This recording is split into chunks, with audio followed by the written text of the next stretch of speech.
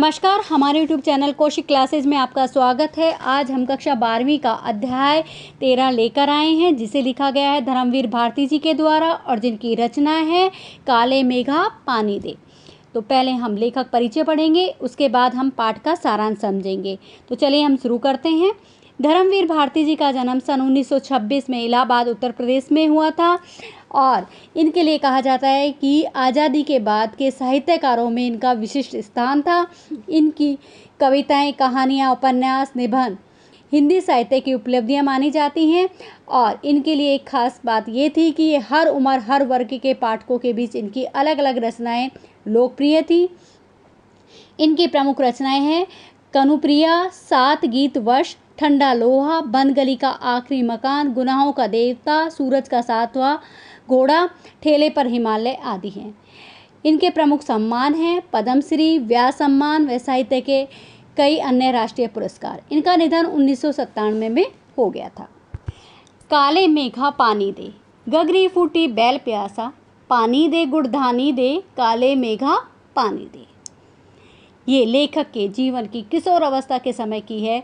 जिसमें उन्होंने अपनी दीदी के यहाँ पर गए और वहाँ की उनकी बातें याद आई उन्हें। लेखक अपनी दीदी के यहाँ पर गए हुए थे। बहुत तेज़ गर्मी थी और बारिश नहीं हो रही थी और उस गर्मी से सभी लोग परेशान थे। तब दस बारह वर्ष और सोलह अठारह वर्ष के जो लड़कों का जो समूह था, वो बादलों से वर्षा के लिए प्रार्थना कर रहा था कि किसी तरह से बारिश हो जाए और वे नंगे बदन सिर्फ़ एक निक्कर पहने हुए होते। और सांवले लड़के एक स्थान पर एकत्रित हो जाते थे और जयकारा लगाते थे कि बोल गंगा मैया की जय। और जयकारा सुनते ही लोग क्या होते? सावधान हो जाते थे।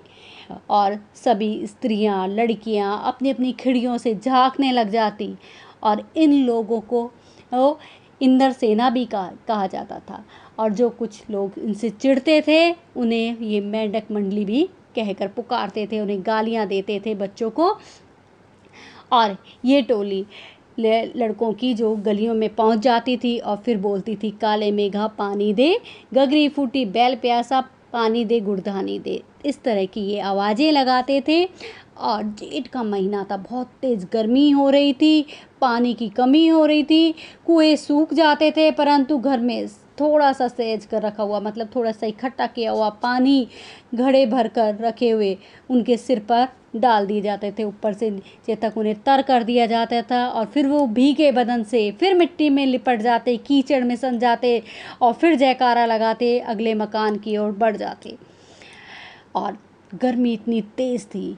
पूरे गर्मी का महीना था, जेड़ आषाढ़ का महीना था और कुएँ सूखने लग थे, नलों में पानी नहीं आ रहा था और शहरों की अपेक्षा गाँव की दशा बहुत ज़्यादा ख़राब हो गई थी। ज़मीन सूख कर फटने लग गई थी, खेतों में खेती नहीं की जा रही थी, जुताई और बुआई नहीं हो रही थी, पानी के लिए पूजा, अर्चना, कथा की जा रहे थे और जल, लेकिन वो सब के सब बेकार हो गए थे।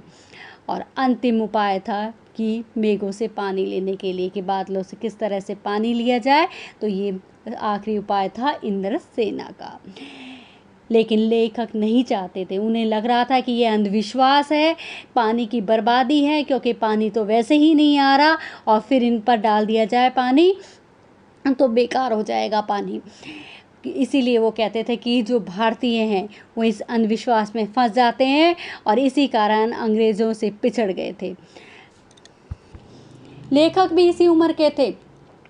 लेकिन वो कुमार सुधार सभा के मंत्री थे, इसलिए उन्हें समाज सुधार का जोश ज़्यादा था।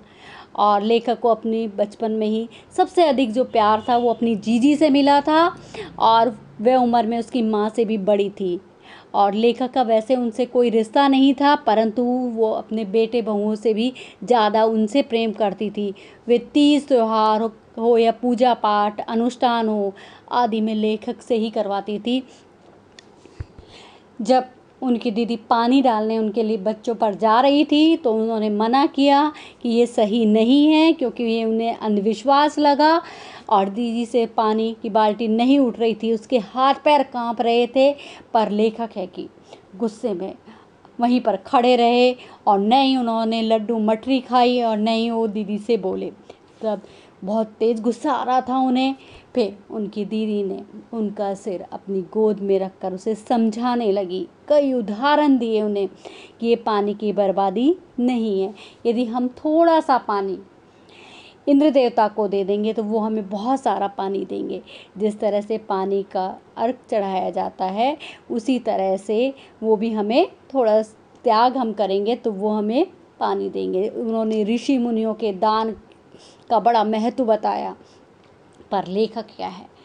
गुस्से में खड़े रहे और वो कुछ नहीं बोले। फिर दीदी ने आके उन्हें और बातें समझाई कि जिस तरह से किसान हैं तीस चालीस मन अन्न पैदा करने के लिए वो क्या करता है? पाँच छः किलो गेहूँ खेत में फेंक देता है बुआई के लिए, ताकि फ़सल उग सके।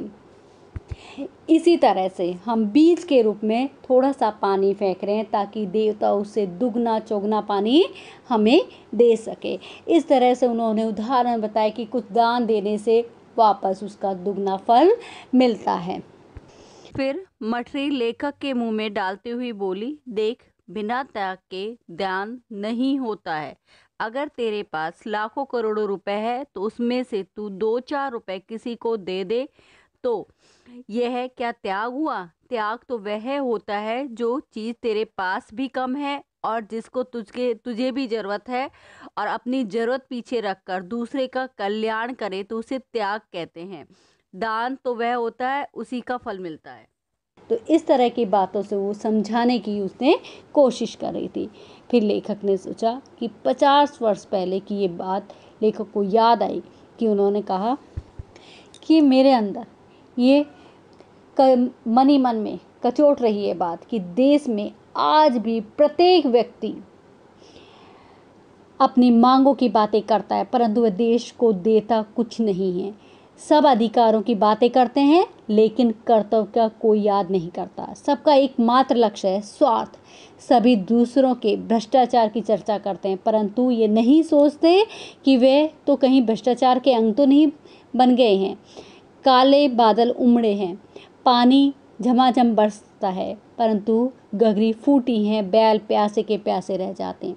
देश की विकास की योजनाएँ बनती हैं और धन उपलब्ध कराया गया, परंतु जनता अब भी भूखी भी प्यासी पिछड़ी हुई है कि खाली सिर्फ़ ये योजनाएँ बनती चली जाती हैं, लेकिन उसका लाभ कोई नहीं उठा पाता। यहाँ पर उन्होंने एक बात और रखी कि देश के विकास की योजना बनी और उससे क्या हुआ?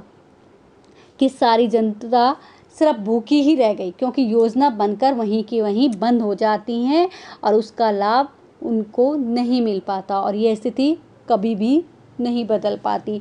तो ये उन्होंने पचास वर्ष पहले की बात लेखक को याद आती चली गई, क्योंकि लेखक के अनुसार पचास वर्ष हो चुके थे उन बातों को जब वो दीदी के यहाँ पर गए।